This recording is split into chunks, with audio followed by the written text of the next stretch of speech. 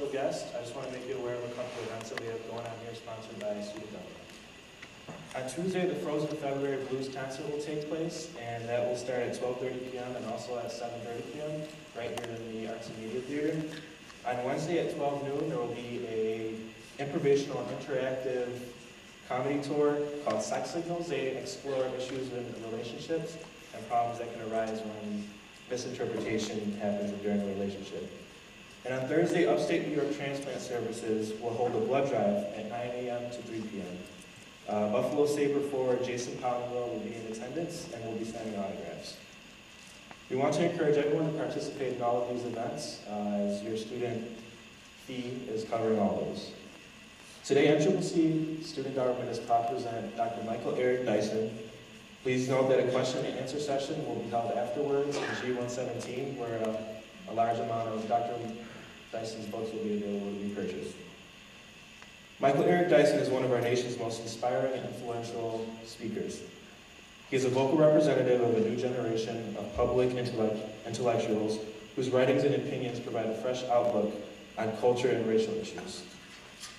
Whether talking on structural social issues in his book, Come Hell or High Water, Hurricane Katrina and the Color of Disaster, or his books with looking into the lives of the major civil rights leaders of our time. Dr. Dyson's insights are sure to pro provoke thought, debate, and ultimately a better understanding.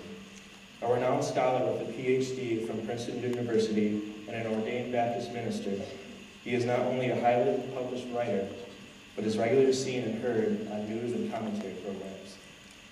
He is currently a professor, professor of social at Georgetown University. Without further delay, Niagara County Community College would like to welcome Dr. Michael Dyson.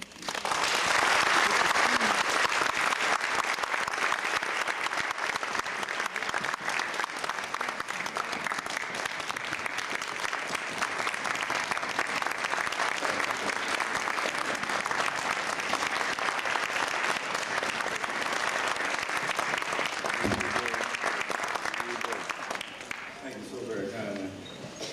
Um, it, it is a wonderful opportunity to uh, come here today to have a conversation with you. It's really to conversation.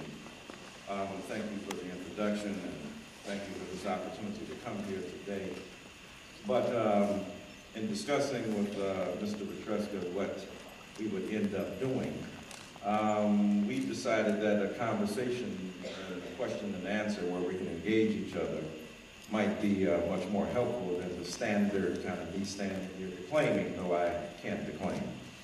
Uh, but I'm still going to kick it off, if you don't mind, with about five, ten minutes of reflection.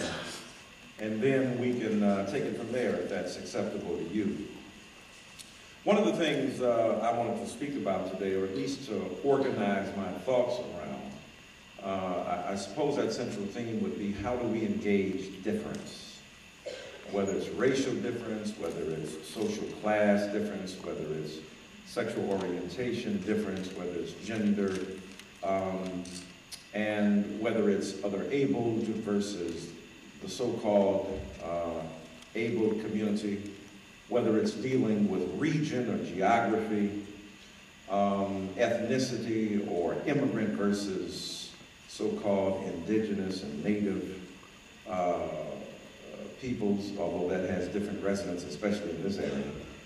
Um, so I wanted to talk about the differences those differences make, and to speak openly and honestly about that. Uh, the Reverend Marcia Dyson is with me here today, and she is equally capable of uh, engaging in serious and sustained dialogue. So when we have the Q&A, I'm going to maybe have a chair up here. She can sit up here with me, and we can uh, get two for the price of one.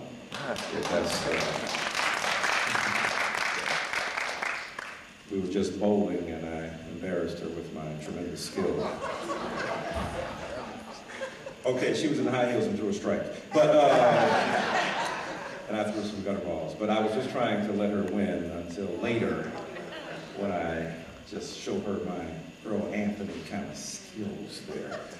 Um, but one of the things that is important to speak about difference is that a lot of us just don't want to deal with it. We want to pretend that everything is the same. We're all the same, and we are all the same ultimately. I was speaking with Brother Tony on the way down, and he was talking about one of his favorite kind of metaphors for similarity that when you prick your fingers and let the blood flow on the ground, we're all the same.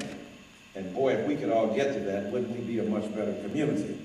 Because we're bleeding the same blood, we're living in the same world, and we're breathing the same air. And yet people have erected differences based upon, and social hierarchy, based upon the inessential differences of identity. Whether you're black or white or red or brown or yellow, whether you come from a certain part of the country or not, whether you have access to capital or not. We're having these debates in this country about health care right now. Give us the same kind of health care you got in Congress and we're good.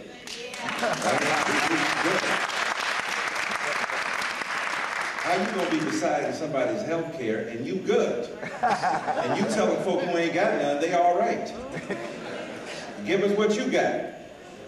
Let me show you what we working with. Show us what you working with. Let's all do it together. And so, you know, I have so many people that come to me, you know, I don't even see your color.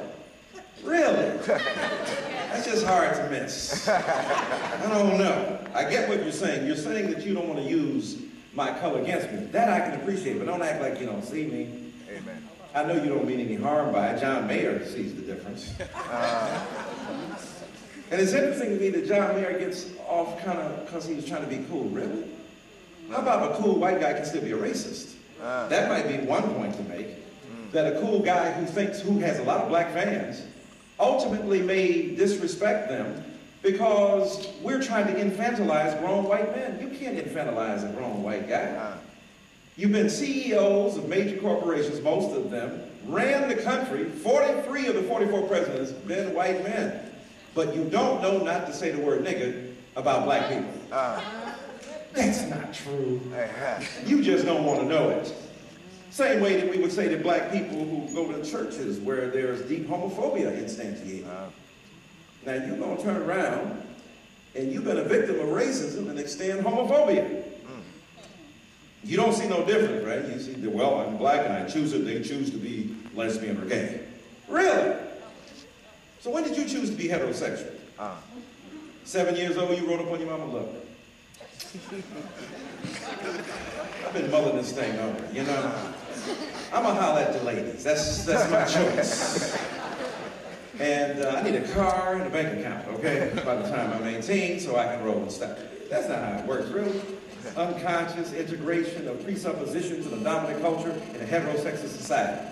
Ain't nobody chose to be anything. And the people who don't want to be gay end up being gay themselves. The, the gay folk don't often, because of homophobia, they internalize, they internalize sexism and they internalize homophobia themselves. And some of the people who hate gay people most are gay themselves. Just like some folks who hate blackness are black themselves. Right? So we live in a culture where difference is not well tolerated, where we don't even want to accommodate something that challenges the mainstream of our thought. We live in a country, and I mentioned the John Mayer thing, uh, only because here's a guy who doesn't really get held accountable. Now, we'll, we'll dog Serena and Venus all day long, like it the worst thing since Attila the Hun. Kanye West has been blackballed, right? He done gave Taylor Swift every award in humanity. And I ain't mad at Taylor Swift. She's a lovely, talented young lady, but I mean, she about to get the Nobel Peace Prize. Because Kanye snatched the microphone. It wasn't good for him to snatch the microphone, but, but at the same time, let's, let's deal with, let's be politically incorrect here for a minute. There are a lot of people who would have liked to grab microphones when awards that were being given to people who didn't deserve them got them. For instance, I'm sure Chuck Berry would have loved for somebody to grab the microphone when Elvis got his award. Uh, Or Little Richard would have loved to have snatched the microphone from Pat Boone. uh, Because Pat Boone was remaking his songs. uh, Y'all saw Dreamgirls, uh. I think. you know that's the deal. You know folk, eh, we're trying to be politically correct. Well, the thing is that uh, all of us get awards, and sometimes the people who deserve them don't get them, but it's a pattern about who keeps getting the stuff they don't deserve.